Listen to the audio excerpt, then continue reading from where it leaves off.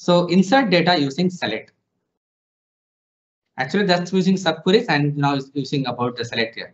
So write a T-SQL script to insert a new record in dim color table. But the logic is take the distinct color from dim product and insert in dim color.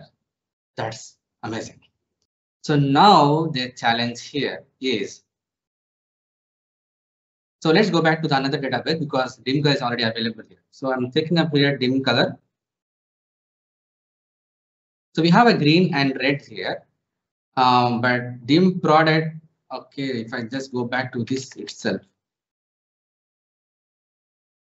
we have a black, blue, green, everything available on this thing. Sorry, and if I want to take the value from dim product color table, so select color from dim product.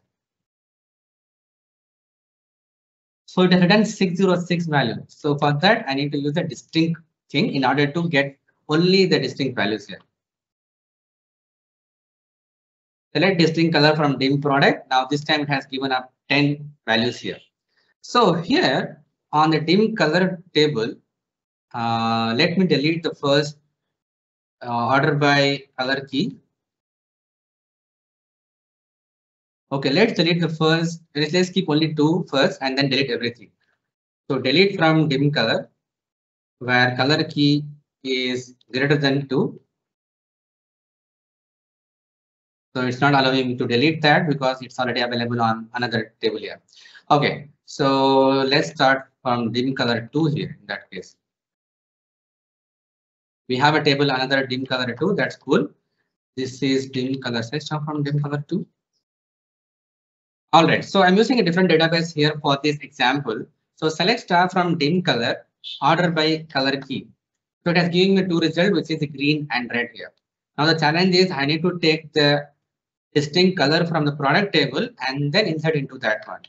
So here you can see we have these colors which is available on this one but i'm not sure if this is the I'm using a distinct also here because it should give only a distinct value. But without that, if I run this one, it is giving me 2500 records.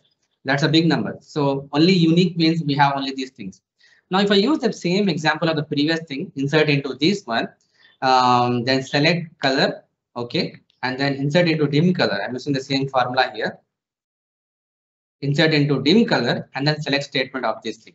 So what's going to happen? It is giving me error here. The reason is because I cannot able to insert duplicate key from this dim uh, on the dim color here. So if I look back again, it only has two records here. The green and red is already available. So from this statement, I had to neglect the green and red color if it is available. As I can see it here, the green is available here and the red is also available here. So first of all, I need to remove these colors if it is already available on the dim uh, dim color table. So to do that, select distinct color from dim product where color not in because I need to use this again here color not in select color from dim color. Confused, right? select English color from dim color. So first of all, I'm just using up here.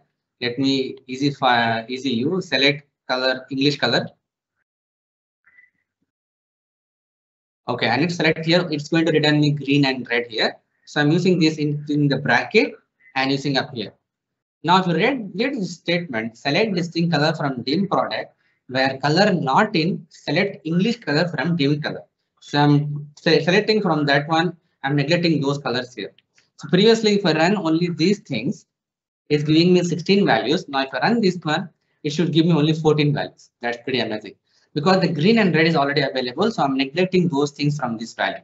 Now, if I run this statement, it will insert the record. 14 rows affected. That's cool.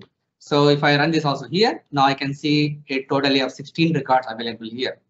So this is pretty amazing. This is how you can able to work on your queries. If you want to copy a data from one table to another table, and if you have this kind of unique constraint issue, in that case, you can make use of this option here. So you can take the data from that table and pass that as to filter those records and then insert that value, which is uh, remaining from the other table. Thank you so much for watching this um, till the end. And if you like this video, just hit the big thumbs up button. If you're new to this channel or if you haven't subscribed yet, just hit the subscribe button and also press the bell icon to get the latest notifications.